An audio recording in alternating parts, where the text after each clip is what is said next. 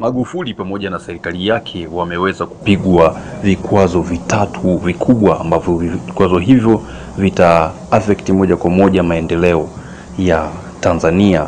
Kikwazo cha kwanza ni kwamba haitapewa e, msaada wowote unaohusiana na pesa za uhuru, haki na za binadamu pamoja na utawala bora, ambazo pesa hizo zilikuwa zikitajwa za mambo ya kisiasa la utawala bora e, lakini zilikuwa zikitumika kwa ajili ya kupeleka umeme vijijini au kama wengi tunavyojua ni umeme wa REA.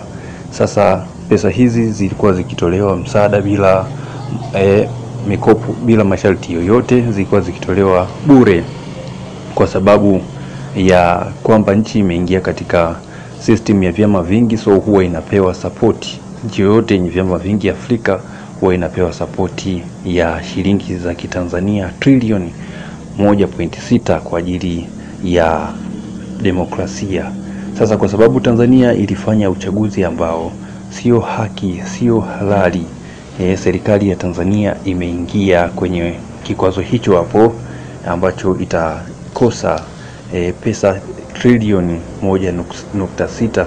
Kwa hiyo kwa namna hiyo e, serikali ya Magufuli imeshaingia katika matatizo makubwa ambapo e, pesa hizo ambazo zilikuwa zinaelekezwa moja kwa moja kwenye umeme wa REA, umeme wa vijijini hazitaweza e, kupe, kupatikana. Kwa hiyo kwa design hiyo umeme wa vijijini utasuasua sana na hautakwenda sawia kutokana tu na kile kinachoitwa e, itwa uvunjifu wa amani na pamoja na uharibifu wa demokrasia, na huu ulisababishwa na serikali yenyewe ya Magufuli wakati wa uchaguzi ambapo Oktoba 28 kulitokea na wizi mkubwa wa kura e, kitu kilichopelekea e, vyama vingi vya siasa e, kutotendewa haki. So Baraza la Ulaya limekaa na kuipa adhabu Tanzania, ambapo adhabu ya kwanza ndiyo hiyo hapo, kikwazo cha kwanza kwamba haitapewa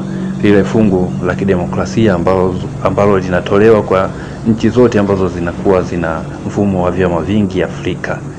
Sasa kwa namna hiyo Tanzania imekosa e, pesa za maendeleo trilioni moja nukta sita kwa sababu tu ya kichwa ngumu au tuseme e, udikteta, kutaka viongozi ambao e, unawataka wewe lakini hawakubaliki na raia, so unakuwa umevunja haki za raia, haki za binadamu zinakuwa zime hazijazingatiwa. Ndiyo maana mataifa makubwa ya Ulaya yamekataa kutoa trilioni moja pointi sita.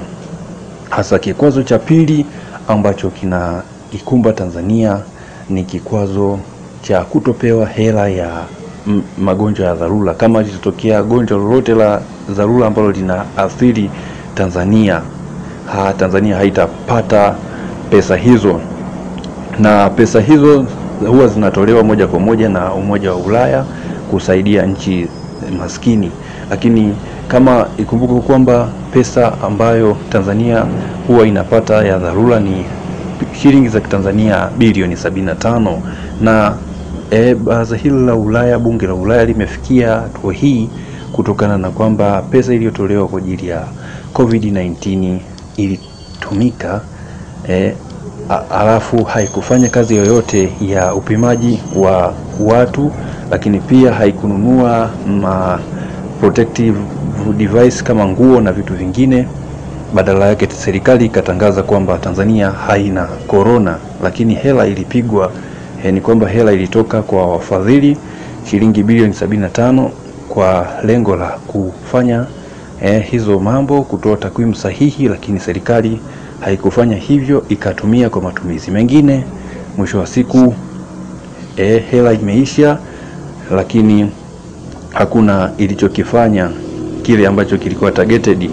Tanzania haikufanya, badala yake walitangaza hadharani kwamba hakuna korona, kitu ambacho eh, jumuiya ya kimataifa e, imekishutumu. So pesa za dharura serikali itakosa, na cha tatu Tanzania e, itawekewa kikwazo kikubwa cha kiuchumi e, so hivyo ni vikwazo vitatu ambavyo Tanzania imepata. Asante.